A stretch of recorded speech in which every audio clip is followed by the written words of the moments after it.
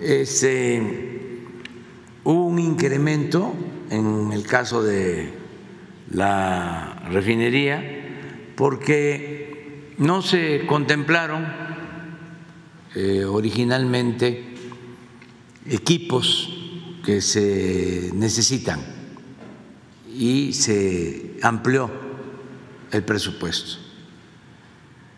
Pero tienen que estar ustedes tranquilos y desde luego toda la población de que nadie hizo negocio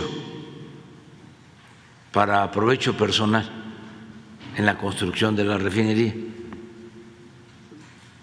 que no hay corrupción, que ya no es el tiempo de antes.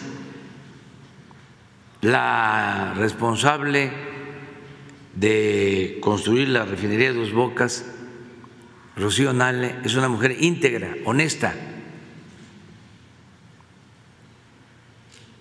Porque esto es muy importante. Y eh, ya está terminada la refinería.